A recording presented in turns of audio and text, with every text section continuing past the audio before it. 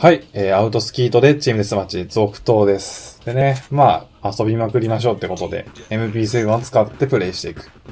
まあね、あの、ビアガーフォースカンパニーの映画を持ってる身としてはね、定期的に MP7 を使わなきゃいけない気もするんで、と思った敵がめっちゃいる。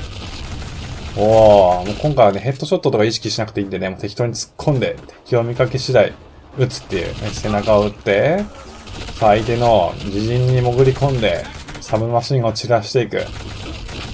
さあ、突っ込んで横から撃っていく。はい。あ楽しいね。弾、残り40発。さあ、横から相手の頭を撃って、はい、君。あ、弾がなくなっちゃいました。で、ハンドガンで、あ、無敵だ。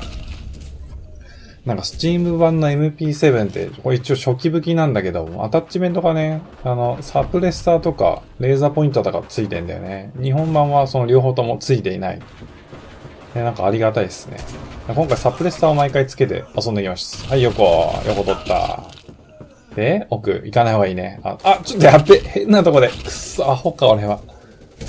ダメなリロードの例ですね。はい、で、サプつけて、突っ込んでいく。さあ、やっぱ近距離はね、この武器強いと思うんで、まあ、初期武器とはいえね、強いってことを今回証明したいですね。で、上にやってるやつをクソエイムで倒していく。ちょっとリロード挟んで、飛び出し。飛ぶ、ああもうちょっと落ち着こう。突っ込むにしても、多少落ち着いた方がいい。いや、青点が全然ない。ここ、まっすぐ行って、敵を封殺していく。上上がって、横から、リロード挟んで、右向いたところに赤点があるんで、あらかじめ決め打ちしていく。で、奥進んで、さあ、裏を取ったぞ。はい、二人。で、ハンドが持ち帰って三人目。いいね。稼いでますね。さて。お、結構遠い。遠いけど。あー、味方が倒してくれた。よし、近距離。で、ハンドガンで、横のやつ一人。まあ、結構近かったらね、このハンドガンでも十分戦えますね。さあ、サブぶっ込み。で、味方やられた。ここから敵が、ひょいと顔を出してこない。上上がって。後ろかどこだ？あ、いた。いたいたいた。よし、一人やって。正面向いて。うーん、見えないね。後ろ？お、だいぶ押してるな。いたあー、やっぱちょっとこの距離だきついな。ちょっときつくなってくんだな。殺しきるまでの時間がシグと比べたら随分と遅い。うわ、逃げられた。さあ。ミリ殺し、きつい。さあ、上がってくるだろ上がってきたところ。うわ、負ける。いや、でもやっぱ MP7 ね、楽しいね。なんかもうマウスブンブン振り回して戦うような、あの、至近距離のね、エイムが楽しいんだよね。さあ、もう一人上がっ、味方がやってくれたかな。あ、いるいるいるいる。こっから狙えるか無理か。いたよし、いいね。この撃ちまくるのが楽しいんだよね、そもそも。弾をね、ばらまくのが好きなんで。そういうのもあってね、スナイパースナイパーライフルとかあんま好きじゃないんだよね。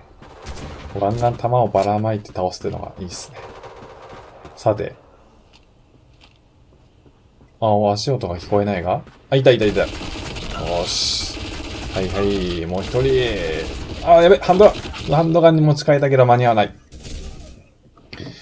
54対73。もう勝ってますね。さあ。まあなんか MP7 使ってるときはもう基本的に何にも考えてないですね。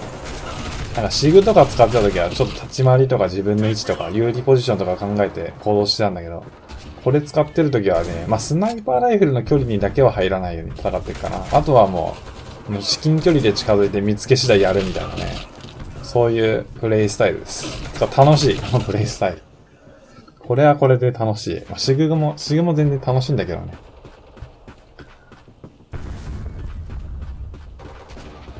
さあ、突っ込むぞ。赤点見えてるから、そこ、入ったところ。もう一人。そうそう、こんな感じ。もう一人。で、ハンドガン。はい、はい、はい、はい。気持ちいいね、これ。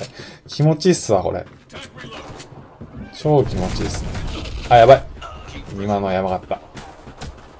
おっと、危ね。当てたけど、MP7 の距離ではないんで、一回引いて、突っ込んでいくが、あー、これもダメだな。これ見られてると、見られてるとね、弱いんだよね。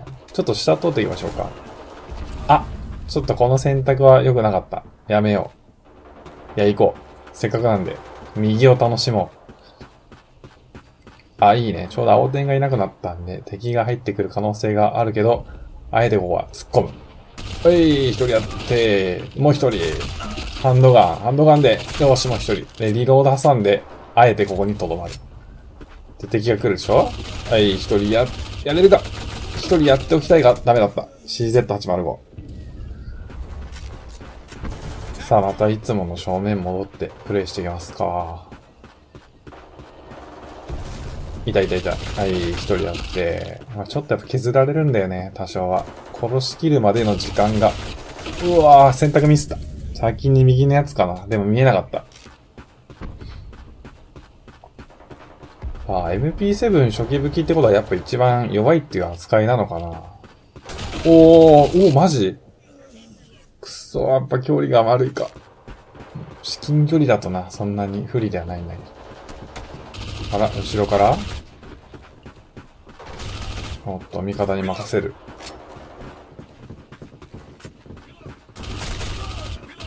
あ、ちょっとまずいな。これはまずい。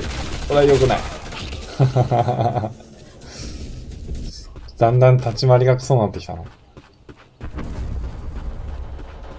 まあでも MPX とクリス・ベクターだっけ？残り。結局なんか新しいサブマシンガンとかはないんだよね。スチーム版にしかない武器は結構あるんだけど、サブマシンガンに至ってはもう日本版と変わらないですね。AR だったらなんか、いろいろあったよね。MDX とか。あ、AK、そう、AK がね、追加されたんだよ。AK の47。GL って書いてあるね。GL って何のことかわかんないんだけど、AK47 のなんかアタッチメント付きとか、ガチャ武器とかが増えてましたね。はい、行ってく。サブマシンガンに新しい武器がちょっと欲しいね。まあ、言っても思いつかないけど、うわ、4人もいるよ。